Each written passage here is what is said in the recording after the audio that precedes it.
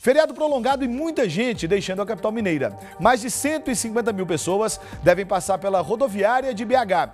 A dica é: chegue, tá, gente? Com antecedência, com calma, com tranquilidade. Quer ver só?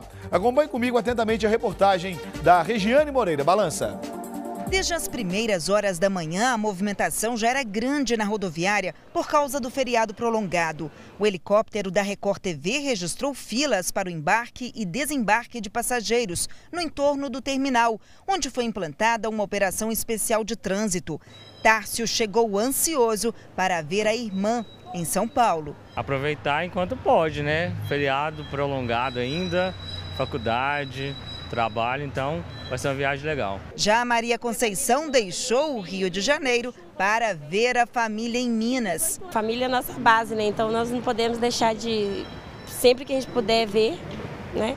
E a saudade sempre aperta. Muitas, muito, muito, muito. Teve gente que deixou para comprar a passagem na última hora. Enfrentou muita fila sem ter a certeza que conseguiria embarcar a tempo. Teve preconceição do Mato Dentro.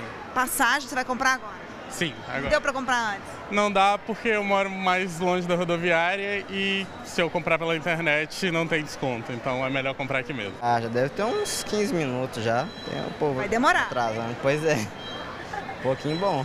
Vai tirar, descontar um pouco no tempo que você vai ter lá para descansar. Pois é. Tá ansioso para chegar no seu destino? Bastante, espero que ainda tenha vaga, porque pelo que eu vi já estava cheio o ônibus. Os ponteiros do relógio já vão marcar a hora certa para essa multidão que está no saguão do terminal rodoviário de Belo Horizonte poder embarcar.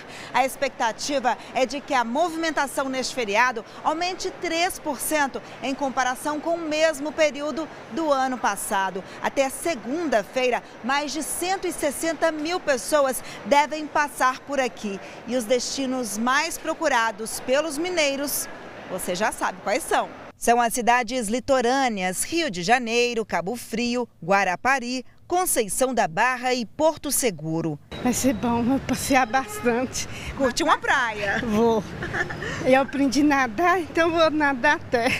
Mas é bom ir preparado para enfrentar um trânsito intenso. Na BR-381, saída para o Espírito Santo, a situação estava assim logo cedo. Robert vai para o Rio ele sabe das coisas. Trouxe até um livro para não ficar nervoso com a demora na estrada. Até para chegar aqui já foi tenso, então cada vez mais tenso ainda, trânsito agarrado e estrada já vi que vai ser bem tenso. E aí o livro vai ajudar a aliviar o estresse da viagem. Exatamente. Dá para ler bastante, se não for assim, estresse o tempo todo. A melhor forma é ler, né?